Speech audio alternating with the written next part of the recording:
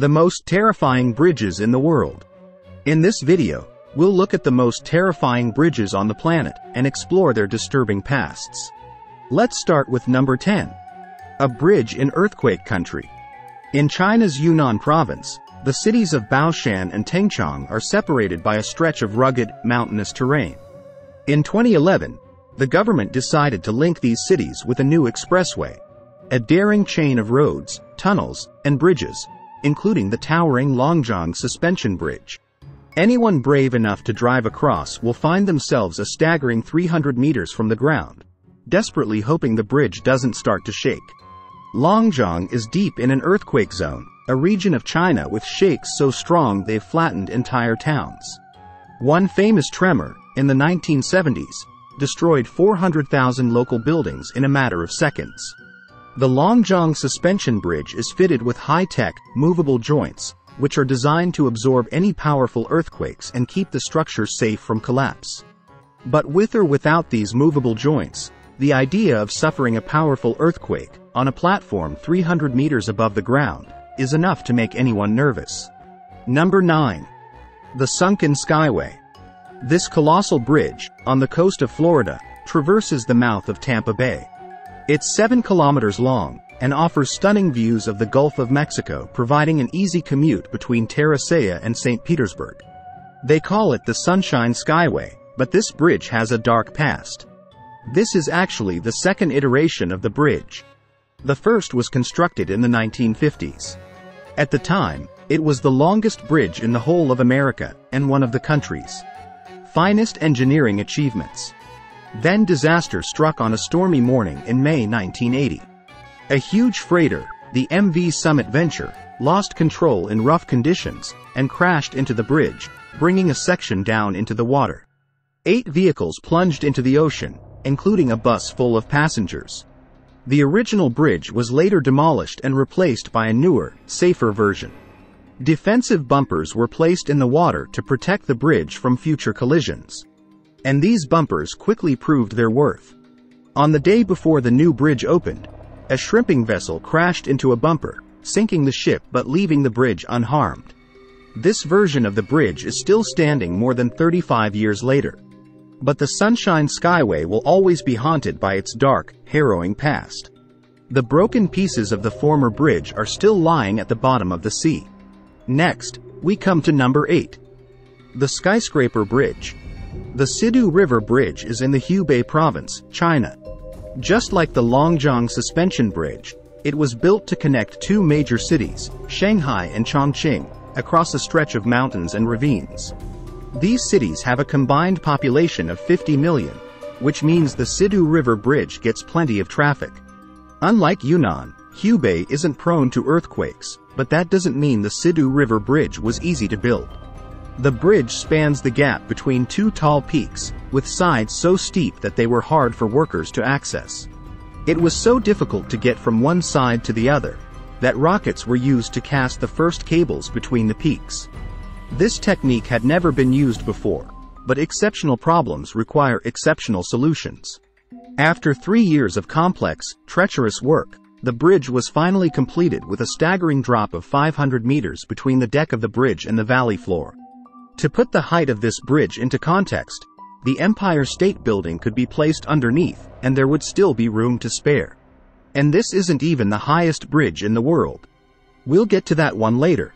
Number 7. The Bridge of Blood and Tears.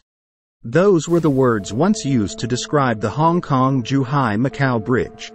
From an engineering perspective, it's a wonder.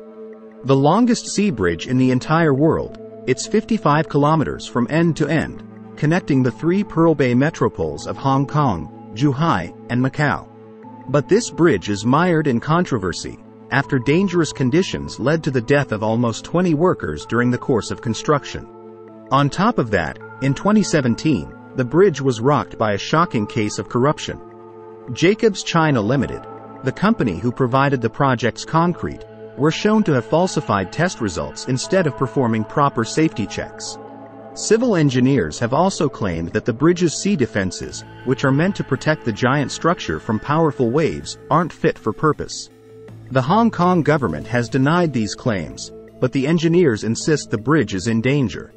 Number 6. A bridge on stilts.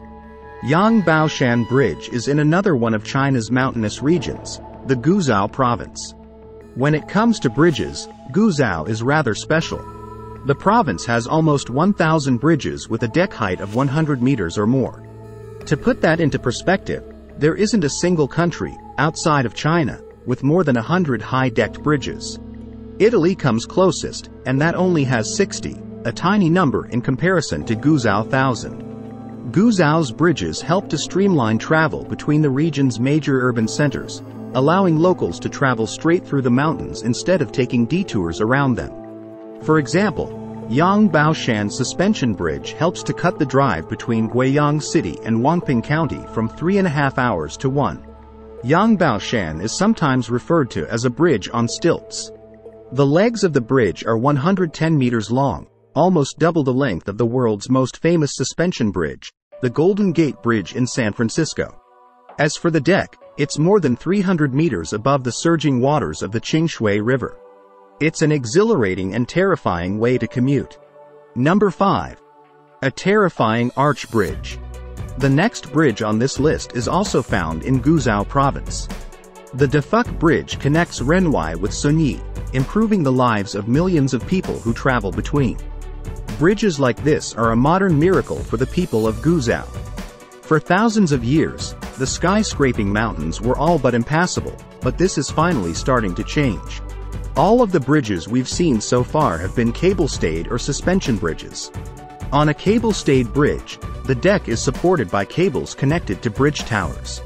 On a suspension bridge, one main cable is slung between two towers, and all other cables are connected to that. But cables aren't the only way to support the deck of a bridge. The Dafuk Bridge uses a tubular arch to support six lanes of the commuter highway. This type of structure is a throwback to ancient China, where wooden arch bridges were often used to cross bodies of water. Number 4. The Bridge to Nowhere. Most bridges are built for the purpose of transport. To make it easier to travel from A to B, but the Royal Gorge Bridge, in Colorado, USA, was built for a very different reason. To take a person's breath away. It's the central feature of an amusement park at the edge of the Rocky Mountains, originally built in the 1920s, and open to tourists ever since. It's literally a bridge to nowhere. When you reach the other side, you have no other choice but to turn around and come back again. At a height of 290 meters, it was once the highest bridge in the world, and even though it's lost that record, it remains as terrifying as ever. This is a bridge with blood on its hands. In 2003, a wingsuiter died while attempting to fly beneath it. He miscalculated his own proximity to the bridge and struck a railing at a speed of almost 200 kilometers per hour. The Royal Gorge Bridge attracts thousands of thrill-seeking tourists every year, and it's easy to understand why. The next bridge on the list makes the Royal Gorge feel very, very small. Number 3. China's tallest bridge. Pingtang Bridge is another example of Guizhou province's incredible infrastructure. This cable-supported viaduct is more than 2 kilometers in length and spans the width of the Caodu River Valley. It serves as a connection between Pingtang and Luodian, slashing travel time from two and a half hours to one. The bridge is supported by three towers which are each the size of skyscrapers, over 300 meters from top to bottom, the equivalent of a building with 110 floors. There's a fine line between terror and wonder, and driving across such a Colossal structure will leave a person feeling both. Number 2. The world's tallest bridge. Millau Viaduct. At the end of the 20th century, the Tarn Valley, in southern France, was suffering from crowded roads. It spans a distance of two and a half kilometers, significantly longer than Pingtang Bridge, and uses seven colossal concrete towers to support the steel deck. The largest of these is 340 meters high, making it taller than any single building in the whole of France, even taller than the Eiffel Tower. It takes two whole minutes to drive across. Two whole minutes of stomach-churning vertigo. But this still isn't the most terrifying bridge in the world. Number 1. The world's highest bridge. There are two ways to think about the size of a bridge. Some people measure them by the size of their towers, That's the record held by the Millau Viaduct. Other people think about the distance of the road deck from the valley floor. In the case of Millau, the deck is 270 meters from the ground. It's a staggering height. But there's a bridge in Guizhou which doubles that distance, with several meters to spare. The Duge Bridge is right on the border between Guizhou and Yunnan. It cuts through such a mountainous area that it reduces the journey from 5 hours down to 1. Beneath the bridge is a sharp, jagged canyon, with a violent river at the bottom. That river is a dizzying 565 meters beneath the bridge's deck, the highest drop of any bridge on Earth.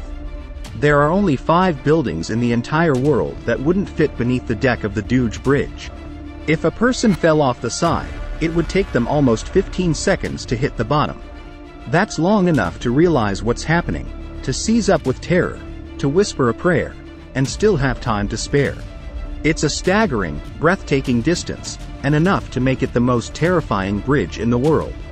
Would you be brave enough to drive across any of these bridges? Which one would you find most terrifying? Let us know in the comments below.